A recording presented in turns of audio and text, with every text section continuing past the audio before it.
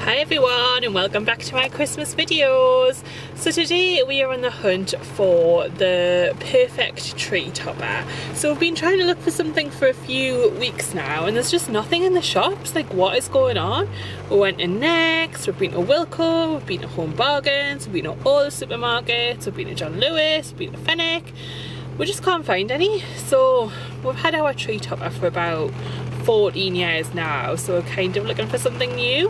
What sort of thing do you do you want? Uh, like a cool sort of contemporary fairy kind of thing. Right. I'm not sure about contemporary because our tree is really traditional. It's all red and white.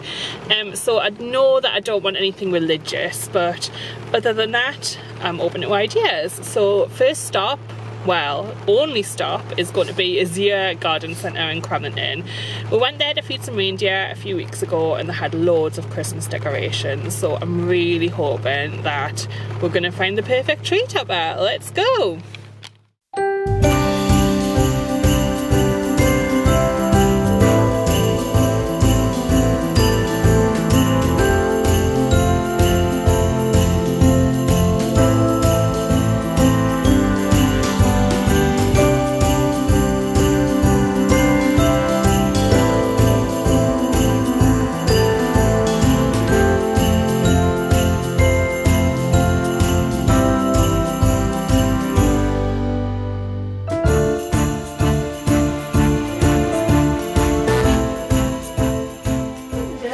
We spotted a pheasant on the top of this tree. Wondering if that's a new thing? Hmm. Steve has just said, what about a Jojo ball the top of the tree? That'll be a no. Tree toppers, where are you? Oh, there's like a crown? Would that work? There's like nothing on top of the display trees either apart from birds. What is going on? And Jojo balls.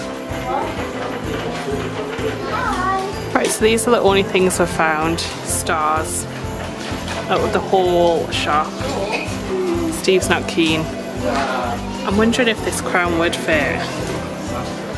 I quite like it.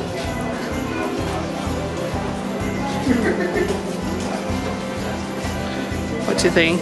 Should we get the crown? Nah. So yet again, there's nothing here. What we're going to do, if you've seen any tree toppers on your adventures, let us know please in the comments below.